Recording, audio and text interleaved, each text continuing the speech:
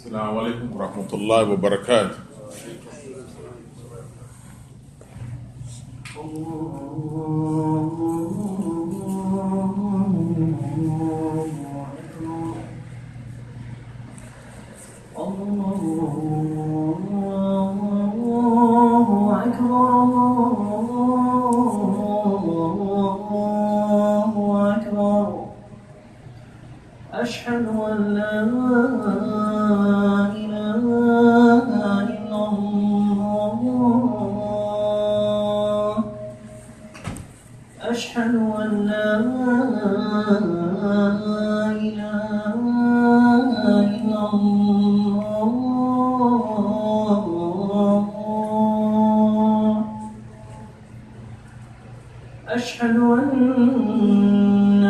محمد رسول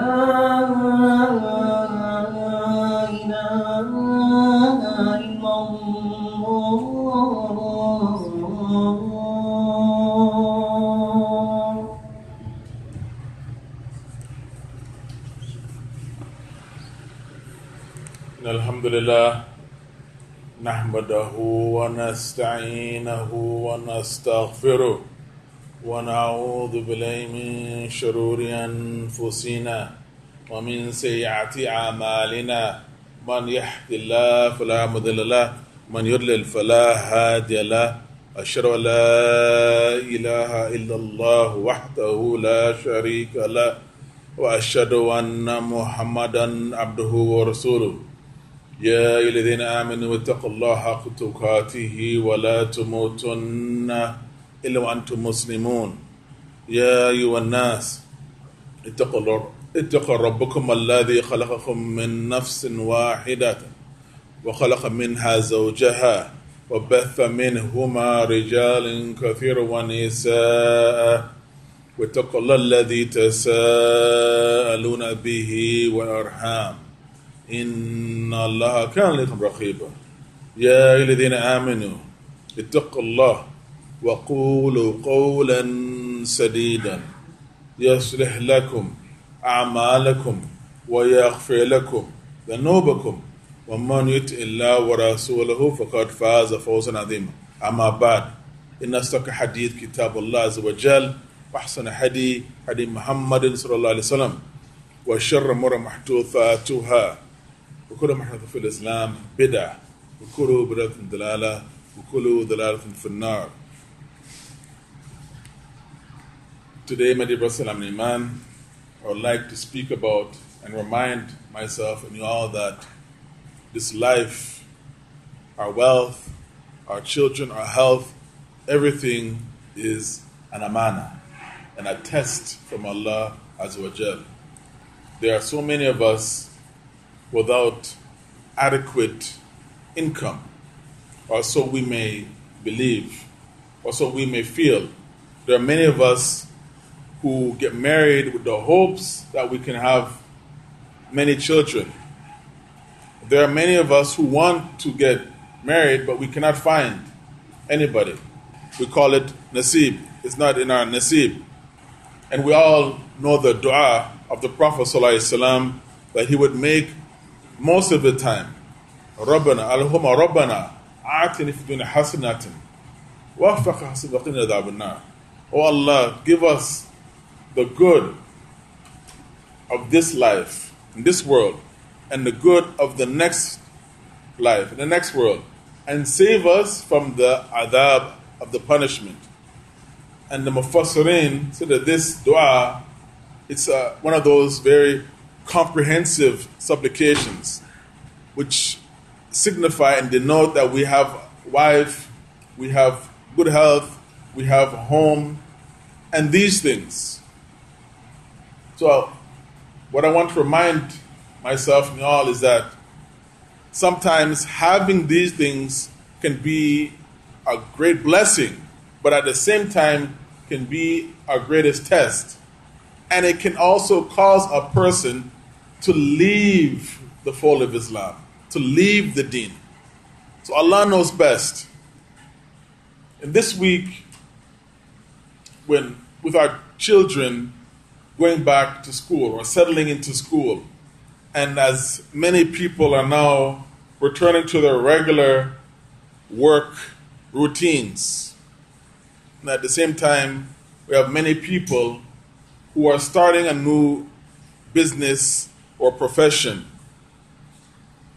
May Allah subhanahu wa ta'ala bless all of those who are starting the new profession. May Allah subhanahu wa ta'ala bless and help our youngsters who are returning back to school. It's an easy transition for a lot of people because so many people, it's, it's normal for them and they can adapt to change. But at the same time, there are many people that are suffering in silence. At the same time, for so many people, it's easier said than done. That now, after living in a bubble for over two and a half years, they have to now go in the workplace. They have to go to in person learning. They are now suffering from high levels of social anxiety due to the fact that, at no fault of their own, they were isolating for two and a half years. And now, for the very first time, they are now plunged into this new world or this new world order where they have to interact with people face to face.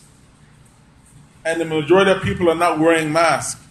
So, since this will be the first time for so many people, it's a shock to them. It will be a shock to them. Due to the pandemic and due to the fact that they were staying home for so long, they will find that this new normal is not an easy road for them to be on.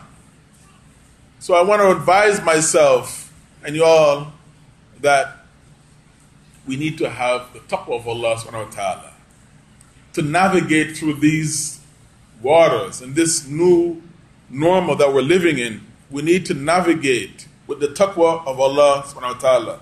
We need to proceed with caution, as they say. And what does that translate for us as believers? The taqwa of Allah Azza wa Jal. That we need to proceed with the taqwa of Allah in every step we take, in every word that we utter. We need to keep this in our mind. That we may want so many things, but Allah subhanahu wa ta'ala wants something better for us. So we need to make this dua a regular habit. Allahumma rabbana atina fi dunya hasanatin wa fil akhirati hasanatin wa qina adhaban.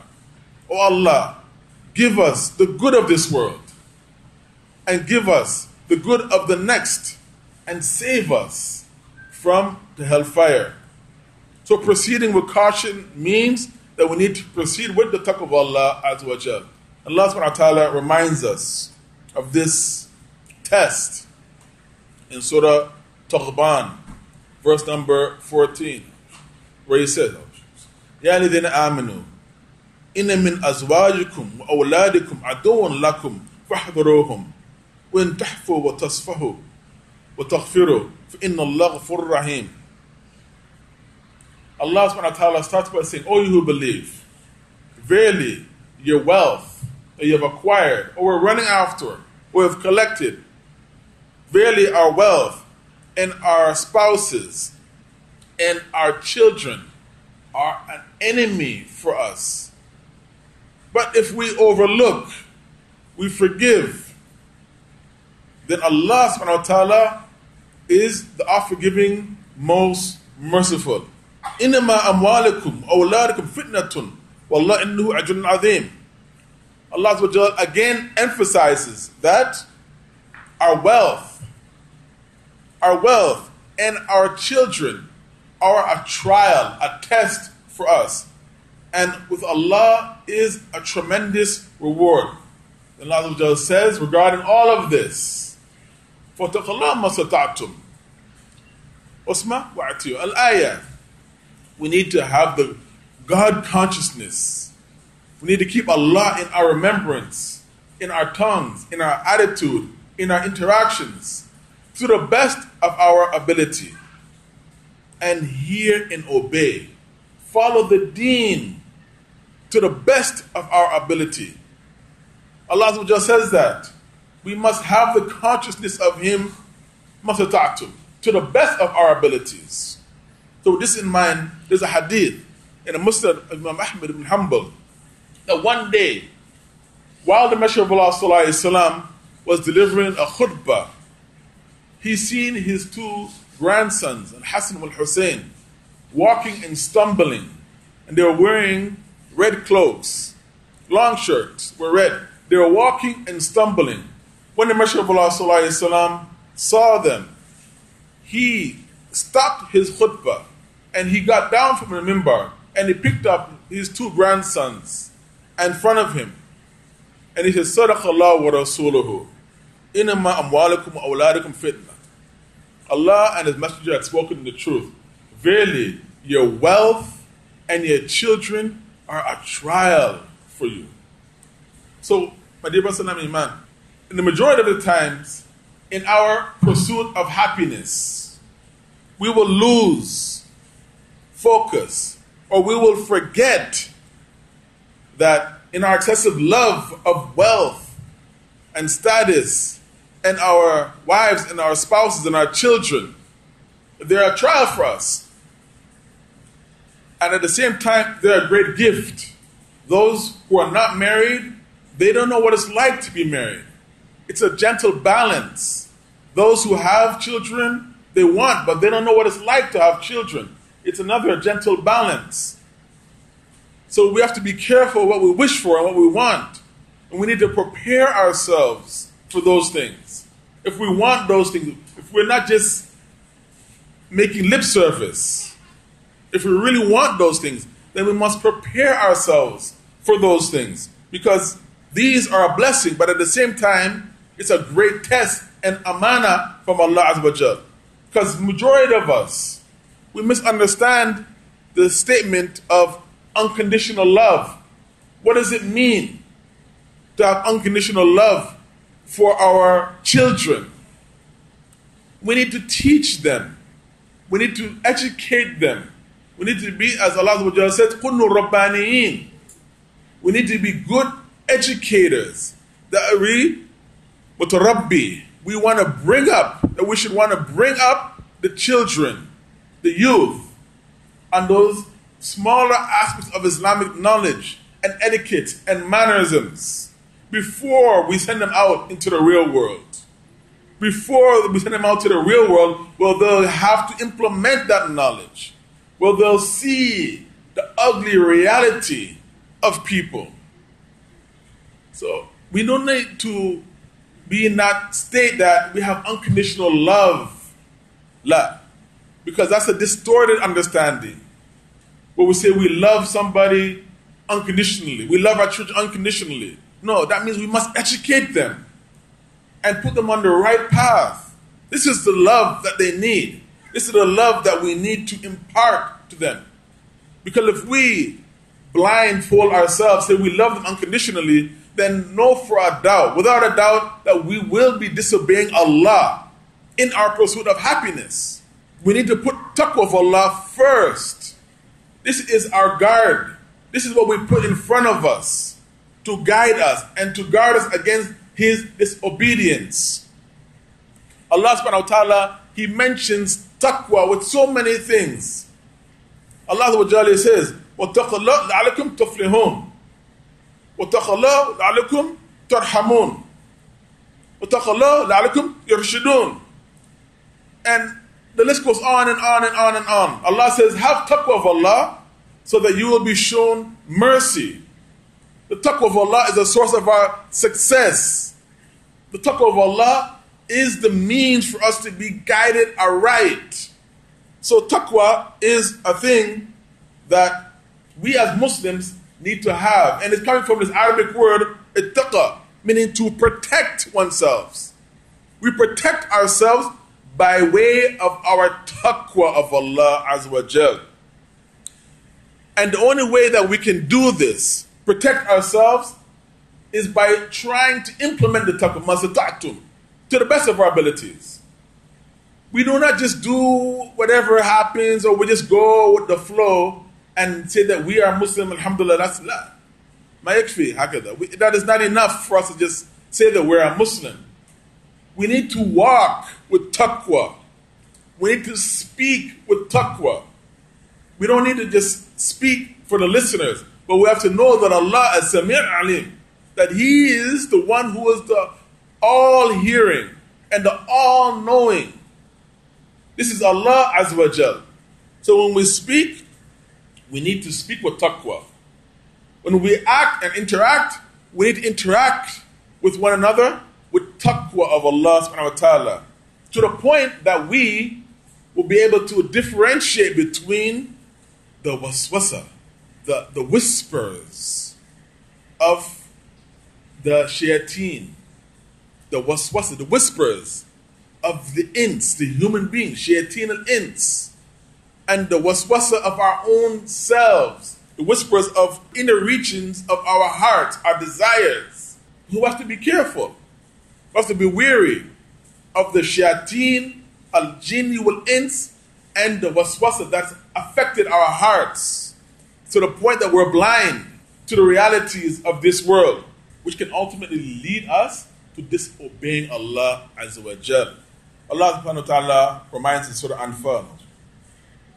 واتقوا فتنة لا تصيبن الذين ظلموا منكم خاصة واعلموا أن الله شديد العقاب صدق الله Allah Azza wa Jal reminds us in Surah Anfal, verse number 25, and we need to be mindful, have taqwa of the fitna that doesn't only affect a certain class of people or a certain people in particular.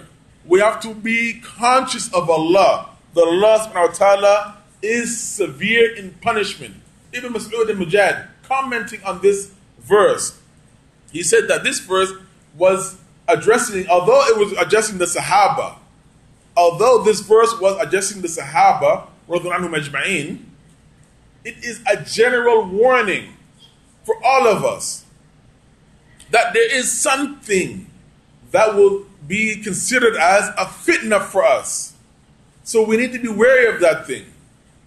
There is something in each and every one of us that is considered as a fitna for us. Allah subhanahu wa ta'ala generally says, Innama amwalakum wa awladukum fitnatun. That verily, and generally speaking, that in our wealth, in our families, our children, these things are fitna. But there are things which lead us and push and drive us to want to make so much more money. Why is it that we want to make so much more money? There's something that's a driving force behind us. That's what we have to try and. There isn't anything wrong with being ambitious and wanting to have more. There isn't anything wrong with having a good ambition in life. But when we are being driven, we have to look within ourselves to find out what is that driving force Because we want to be more generous or do we want to show off on our neighbor. Another example is in the Sahih of Imam Bukhari on the third of Abu Sa'id. Said the Messenger of Allah sallallahu he had stated, إن الدنيا حلوة خضرة وإن الله مستخفكم فيها فنادرة ماذا تعملون فاتقى الدنيا واتقى النساء فإن أول فتنة بني إسرائيل كانت في النساء أو كما قال صلى الله عليه وسلم that really this dunya that we're all living in is halwatul khadra, that is sweet and alluring and green. So we need to look, now that look at ourselves, look at how we're acting and interacting, how we're carrying ourselves in this world. The Prophet Islam, he went on to say that we need to watch out for the fitna of the women. Allah subhanahu wa ta'ala made us vicegerents on this earth, khulafatul ard. But we need to watch out for the fitna of this dunya and the fitna of women. Because verily, the first fitna for Bani Israel nisa, from the woman. So we have to understand that life is a test.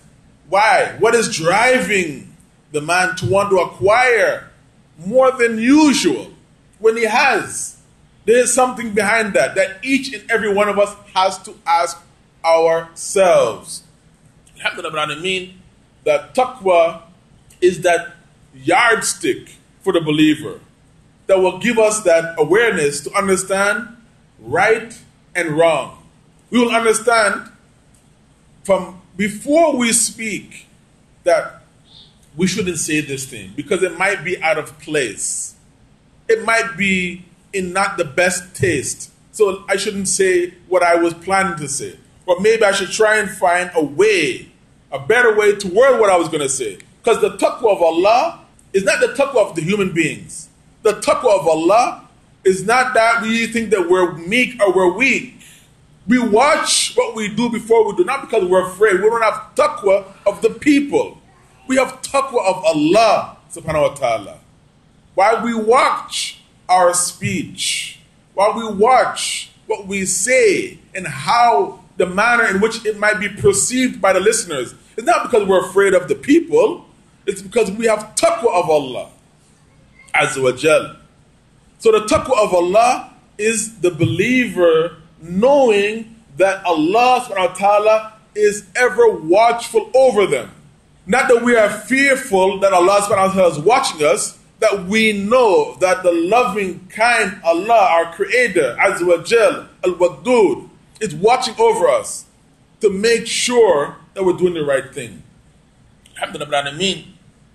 Remember that the Messenger of Allah would always say this in his khutbah to Hajjah, in his speech of need, which all of the ai and the Khatibs of the Salaf, they would say, Ya ladhin amanu, attaqallah, wa qulu qawlan sadidan.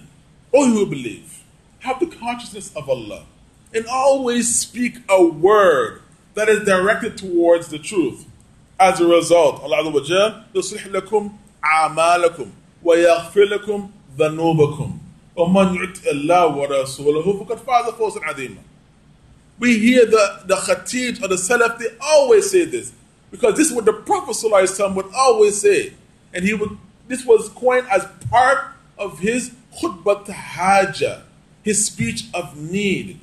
When we speak in a manner which is directed towards the truth, no any awaj, crookedness. As a result of speaking with the taqwa of Allah, Allah will rectify our situation. يصلح لكم أعمالكم. Allah will rectify our situation. Allah will forgive us of our sins. And whosoever obeys Allah and His Messenger has indeed achieved a firm handhold. So those of us who want rizq, an increase in their salary, they want more money, they want to leave their job to start a new job, they want to start their own business. It all begins with our lisan and hal. How we look at ourselves, our tongue, the tongue of truth in reality that we speak with is the same thing that we use to call on Allah with. So if our tongue is twisted, it's not straight. That's what the Messenger of Allah would always say. This verse is in Surah Ahzab. Yeah, lidin aminu. Or you believe. Speak a straightforward word. Allah says, Why do you say that which you do not do? So we know the Allah says, Why do you say that which you do not know? We say inshallah kida wa kida, but we don't mean it. But at the same time, we want so much. We want a better position in our job that we deserve, but we're not straight. We have money saved up, we have place, but we can't find a wife. Or we're always getting married and divorced. What's wrong? Because we're not straight. This is the basis. We're not straight. This comes from our tongues. We pray, but we are always full of kedib, ghiba, namima. It's the taqwa where it starts. From the words that come out of our mouths. And where are the words emanating from? What's in our hearts. So, my dear brother, Iman, remember that life is a test. And many people have been living in a bubble for the past two and a half years. If we are strong, mashallah, tabarakallah, we're able to change and adapt to change easily. We do not need to make fun of others with racial slurs or put downs because we need to proceed with caution. And to proceed with caution, it means we need to proceed with the taqwa of Allah. May Allah subhanahu wa ta'ala give us all the tawfiq to live a life full of taqwa of Allah ameen, ameen.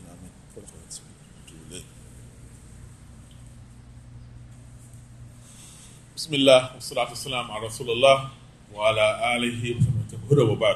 For those who are coming in late, I want to leave us off with a final advice regarding the taqwa of Allah Azza wa Jal. That Alhamdulillah, for those who are strong and able to interact and easily adaptable to change, Alhamdulillah. But as I mentioned last week, during last week's khutbah, that the opioid crisis in our region and in North America is real. There are many people who are using drugs because they have money, which is an amana, just to cope with life, with the struggles of life. Many people, majority of people who are using these opioids, they don't believe that they're hurting anyone but themselves. They don't believe that they're hurting anyone but themselves. Because when is the last time we've seen somebody shooting up in front of us? They usually use the drugs in the privacy of their own homes. This is why, my dear man, we need to always pray to Allah and beg Allah to keep our feet firm on the deen. This is another dua of the Messenger of Allah وسلم, that he used to make the majority of the time. Ya muqallab al-qallub, thabbit qalbi ala ta'atik. وفي رواية ثبر قلبي ala دينك O turn of hearts keep my heart firm on your deen. Keep my heart firmly attached to this Islamic way of life. As we know the children now are settling into school. And there's a large influx of the, the youth who are online. They're now in person. So we need to remind the youth to be patient with them. Those of us who are now starting a new profession or new business, mashallah tabarakallah, may Allah subhanahu wa ta'ala bless you in that business. And our children who are now into school in person and interacting with this large influx of new faces, we need to remind them that a lot of them were using a lot of drugs as coping mechanisms as we know, during the pandemic, our government legalized a lot of drugs. So a lot of youth not understanding the reality to drug addiction will want to sample some of the drugs that come in so many different shapes and sizes now. Now that our children are returning to school, we need to advise them don't take the gummies, don't take any sweet candies from your friends because the drugs are coming in these shapes. Our children may be naive, or maybe they know, they just want to try it to see what it feels like. We need to advise them that it may seem like fun and games, but drugs are addicting. And anybody will tell you who was addicted to drugs, they only wanted to try it in the beginning. And now they're strung out. May Allah subhanahu wa ta'ala help all of us. May Allah subhanahu wa ta'ala help our children. May Allah subhanahu wa ta'ala bless all of us who are returning back to, to work. May Allah subhanahu bless our children, protect our children. May Allah subhanahu bless those who are starting a new business, a, new employment. May Allah subhanahu keep us all safe and healthy. And may Allah have mercy on those who passed away and give them gentle for those al-ala. Ameen, ameen, ameen. Inna Allah wa malaikum saluna ala nabi. Ya ladina aminu. So listen. اللهم صل على محمد وعلى آل محمد كما صليت على إبراهيم وعلى إبراهيم إنك حميد مجيد. اللهم بارك على محمد وعلى آل محمد كما باركت على إبراهيم وعلى إبراهيم إنك حميد مجيد. ربنا اعطنا في حسنه وفي السلام